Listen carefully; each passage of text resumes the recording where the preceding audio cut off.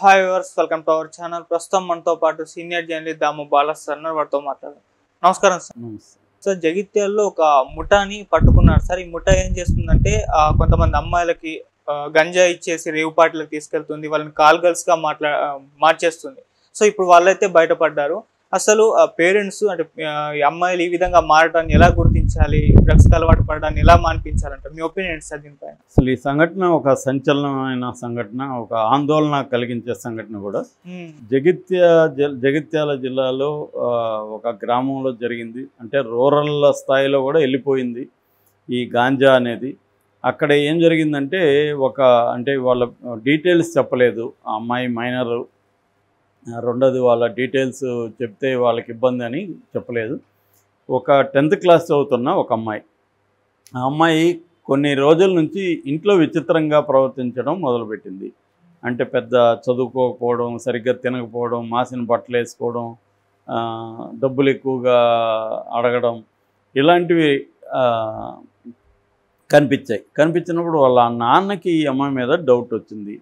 So వచ్చినప్పుడు కొన్ని రోజులు ఆయన అబ్జర్వ్ చేశాడు something is wrong this girl అని విత్ దిస్ గర్ల్ అని ఆయన నిఘా పెట్టితే ఆయనకి కొన్ని విషయాలు బయటకు వచ్చాయి. అదేంటంటే ఈ అమ్మాయి గాంజాకి అడిక్ట్ అయిందనే విషయం ఆయనకి తెలిసింది. దాంతో అమ్మాయిని కూర్చోబెట్టుకొని సో అసలు ఏంది? ఏం జరిగింది? ఏంటన్నప్పుడు అమ్మాయి ఫస్ట్లో చెప్పలేదు కానీ తర్వాత బోర్మని ఏడుస్తూ మొత్తం చెప్పింది. అదేంటంటే ఎవరో ఫ్రెండ్ చాక్లెట్లు అని చెప్పి చాక్లెట్ ఇచ్చింది. చాక్లెట్ తింటే అది చాలా మొత్తుగా చాలా బాగుంది హ్యాపీగా. దాంతో మళ్ళీ మళ్ళీ అడిగింది. ఆ అమ్మాయి కూడా మళ్ళీ మళ్ళీ ఇచ్చింది. అలాగా ఈ అమ్మాయి మెల్లగా వాటికి అడిక్ట్ అయిపోయింది. సో ఆ అమ్మాయి ఏం చెప్తే అది చేయడం మొదలుపెట్టింది. ఆ అమ్మాయి ఎవరికో అబ్బాయికి పరిచయం చేసింది. ఆ అబ్బాయిది ఏం చెప్పాడంటే ఒక రేవ్ పార్టీ ఉంది నువ్వు రా అని చెప్పాడు. రేవ్ పార్టీకి వెళ్ళింది. ఇలాగ ఇంకో వాళ్ళు ఏం చెప్తే అది చేయడం ఎవరు అబ్బాయితో వెళ్ళమంటే వాళ్ళు వెళ్ళడం అలాగా మెల్లగా ఈ అమ్మాయిని కాలుగల్లో మార్చేశారు. దాంతోపాటు ఈ అమ్మాయి కాలుగాలు చేయడానికి డబ్బులు కూడా వాళ్ళు ఇచ్చారు. ఆ డబ్బులతో ఈ అమ్మాయి గాంజా కొనుక్కోవడం ఇది కూడా మొదలుపెట్టింది. అంటే ఈ అమ్మాయికి ఏంటంటే గాంజా అడిక్షన్ వల్ల వాళ్ళు ఏం చెప్తే అది చేయడం అలాగా స్టార్ట్ అయింది. దీనివల్ల ఇదేమైందంటే ఈ గాంజా అనేది అందులో ఈ అమ్మాయి తక్కువ ఏజ్ ఫిఫ్టీన్ ఇయర్స్. సో ఇది ప్రభావం మైండ్ మీద ప్ర పడడం మొదలుపెట్టింది.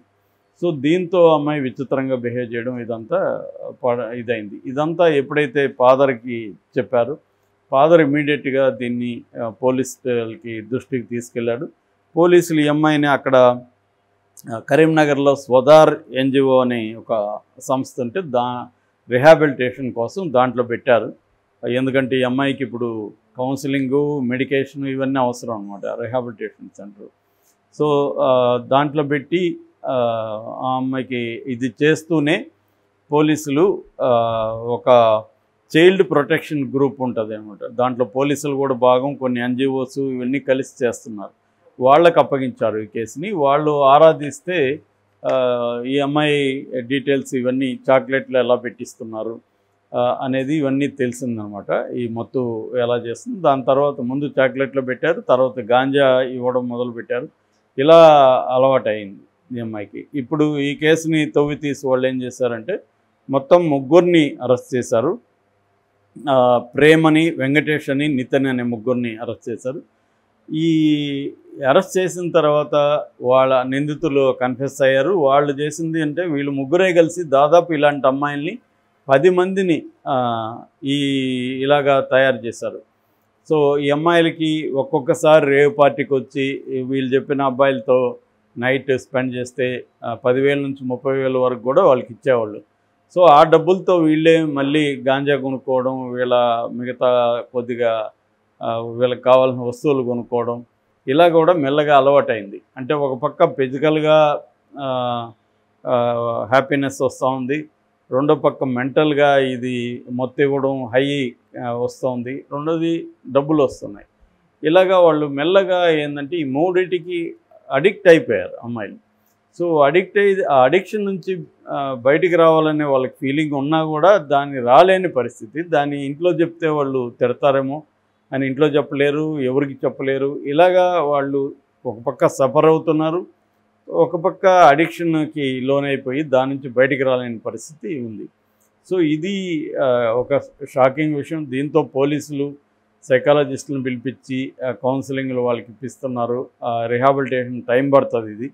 సో అసలు మామూలుగా ఇది ముఖ్యంగా పేరెంట్స్ అమ్మాయిలు గర్ల్ చిల్డ్రన్ ఉన్న పేరెంట్స్ ఒకసారిగా షాక్కు గురయ్యారు. మామూలుగా హైదరాబాద్ సిటీలోనో ఎక్కడో జరుగుతుంది అనుకుంటే రూరల్ లెవెల్లో ఇలా వెళ్తే ఎవరు కూడా అక్కడ ఇటువంటివి జరుగుతాయని ఊహించరు కాబట్టి సందేహం ఉండదు. మామూలుగా ఈ ఏజ్ గ్రూప్లో ఉండే అమ్మాయిలు అబ్బాయిలు కొద్దిగా తిక్క తిక్కగా బిహేవ్ చేస్తుంటారు. ఎందుకంటే ఆమె ఎవరో ఒక ఆమె కవిత రాసినట్టుగా ఇది ఘనము కానీ ద్రవము కానీ వయసు పాదరసం లాంటి వయసు. అంటే పాత బాడీలో చేంజెస్ వస్తుంటాయి మెంటల్గా చేంజెస్ వస్తుంటాయి రిలేషన్షిప్స్లో చేంజెస్ వస్తుంటాయి. సో ఇటువంటి కండిషన్లో చాలామంది పేరెంట్స్కి కూడా చిన్నప్పుడు పిల్లల్ని ట్రీట్ చేయడం కొంతవరకు చేయగలరు కానీ టీనేజ్ పిల్లల్ని ఎలా ట్రీట్ చేయాలనేది చాలా చాలామంది పేరెంట్స్కి నిజంగానే నో క్లూ వాళ్ళని ఎలా ట్రీట్ చేయాలని తెలియదు వాళ్ళకి. ముఖ్యంగా ఇటువంటి కిడ్స్ అంటే కొంత రెబలెస్గా తయారవుతారు ఎదిరిస్తారు నా ఇష్టం అని చెప్తారు. ఇలాగా వాళ్ళకి అప్పుడే ఇండివిజువాలిటీ ఫామ్ అవుతుంటుంది పీర్ ప్రెజర్ ఇతర పిల్లల ఇన్ఫ్లుయెన్స్ వాళ్ళ మీద పడుతూ ఉంటుంది. ఇటువంటి కాంటెక్స్లో ఉన్న పిల్లల్ని డీల్ చేయడం మాత్రం చాలా చాలా కష్టం పేరెంట్స్కి చాలామంది నేనే పర్సనల్గా చూశాను. మా ఎన్జిఓ తరపున కొంతమంది కౌన్సిలింగ్ కూడా ఇచ్చాం మేము. సో ఇదేంటంటే వెరీ వెరీ డిఫికల్ట్ ఫేజ్ అనమాట వాళ్ళకు కూడా.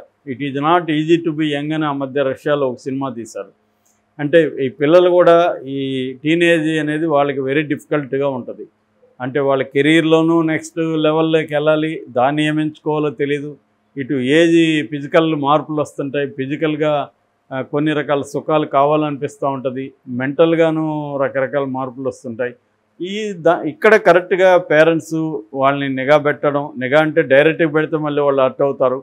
డైరెక్ట్గా వాళ్ళని కంట్రోల్ చేయడం మొదలు పెడితే వాళ్ళు రెబల్గా మారుతారు. సో వాళ్ళ మీద నిఘా అంటే అర్థం ఏంటంటే వాళ్ళ మీద నువ్వు టైము స్పెండ్ చేయాలి వాళ్ళతో టైం స్పెండ్ చేయాలి వాళ్ళతో ఫ్రెండ్లీగా మాట్లాడాలి వాళ్ళని కంట్రోల్ చేయడం అనేది తగ్గించేయాలి. వాళ్ళతో మాట్లాడి వాళ్ళ స్కూల్లో అయితే స్కూల్లో కాలేజీలో అయితే కాలేజీలో ఎలా ఉన్నారు ఏంటి రకరకాల విషయాలు ఫ్రెండ్లీగా అడగాలి. మళ్ళీ కొద్దిగా నువ్వు ఇంట్రాగేట్ చేసినావు నీకెందుకు అవన్నీ నువ్వెందుకు అడుగుతున్నావు నువ్వెందుకు ఇంటర్ఫియర్ అవుతున్నావు ఇలాగ వాళ్ళు ఎందుకంటే ఇండివిజువాలిటీ ఫామ్ అవుతుంటుంది అప్పుడు. నేను నేను అనే కాన్షియస్నెస్ పెరుగుతుంది. రెండోది I am okay you're not okay అనే స్టేజ్ కూడా ఇదే అనమాట నేను బాగున్నాను ప్రపంచం బాగాలేదన్న ఫీలింగ్ కూడా వాళ్ళకి వస్తూ ఉంటుంది. అలాంటప్పుడు తల్లిదండ్రులు కంట్రోల్ చేయడం మొదలు పెడితే మాత్రం వాళ్ళు రివర్స్ అవుతారు రెబల్గా మారిపోతారు. మామూలుగానే లాంగ్ బ్యాక్ ఒక సినిమా ఉంది రెబల్ వితౌట్ కాజ్ అని. అట్లా వీళ్ళందరూ ఏజ్ గ్రూప్లో ఉండేవాళ్ళు ఏమి కారణం లేకపోయినా రెబల్గా ఉండడానికి ఇష్టపడతారు. అందుకని పేరెంట్స్ ఇండైరెక్ట్గా వాళ్ళ మీద నిఘా పెట్టడం వాళ్ళు ఏం చేస్తున్నారు వాళ్ళ ఫ్రెండ్స్ ఎవరు వాళ్ళు ఎక్కడికి వెళ్తున్నారు ఏంటి అనేది చూడడం. అట్లాగే వాళ్ళని క్లోజ్గా అబ్జర్వ్ చేస్తే వాళ్ళ మనతో మాట్లాడేటప్పుడు మన ఐ కాంటాక్ట్లో ఉండి మాట్లాడుతున్నారా? ఎందుకంటే డ్రగ్స్కి అలవాటైన వాళ్ళు ఐ కాంటాక్ట్ ఉండదు ఎక్కువసార్లు తర్వాత వాళ్ళు ఒంటరిగా ఉండడానికి ఇష్టపడతారు. ఎక్కువసేపు వాళ్ళ గది ఉంటే గది లోపలకి వెళ్ళిపోయి తలుపులు వేసుకొని ఒంటరిగా ఉండడం ఆ- ఆ పనులకి ఇష్టపడతారు. ఫ్రీగా కలవరు. ఎక్కడికన్నా ఏదన్నా ఫంక్షన్కి రమ్మంటాను లేకపోతే గుంపులో ఉంటే అక్కడికి రమ్మంటాను వాళ్ళు రారు. రకరకాల వాదనలు వేసుకుంటారు వాళ్ళు. రిజిడ్గా తయారవుతారు. మూడోది ఏంటంటే వాళ్ళు కంఫర్ట్ జోన్లో నుంచి బ్రేక్ చేసుకొని రారు. ఒక కంఫర్ట్ జోన్ వాళ్ళు క్రియేట్ చేసుకుంటారు ఆ కంఫర్ట్ జోన్లోనే ఉంటారు. అట్లాగే వాళ్ళు బట్టల మీద ఎక్కువ శ్రద్ధ పెట్టరు. ఈ డ్రగ్స్కి అలవాటైన వాళ్ళు. మాసిన బట్టలు వేసుకోవడం అలా ఉండడం పెద్దగా అలంకరణ మీద శ్రద్ధ పెట్టకపోవడం చదువు మీద కానీ స్టడీస్ మీద ఫోకస్ చేయకపోవడం ఈ లక్షణాలు ఉంటాయి.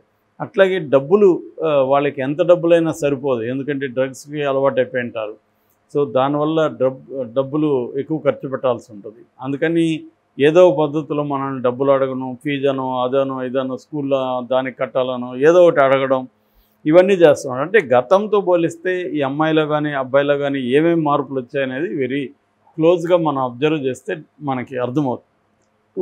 అర్థమైనాక ఏం చేయాలి? అర్థమైనాక ఇటువంటి డ్రగ్స్ రిలేటెడ్గానే ఉందంటే ఖచ్చితంగా పోలీసులను అప్రోచ్ కావాలి. లేదు ఇంకేదైనా ఇష్యూస్ ఉన్నాయి అనుకున్నప్పుడు ఖచ్చితంగా సైకాలజిస్టుల్ని కలవడం సైకాలజిస్టుల దగ్గరికి వీళ్ళని తీసుకెళ్ళడం వీళ్ళకి కౌన్సిలింగ్లు ఇప్పించడం ఇచ్చేయాలి. అట్ ద సేమ్ టైం వాళ్ళకి సపోర్టివ్గా ఉండాలి.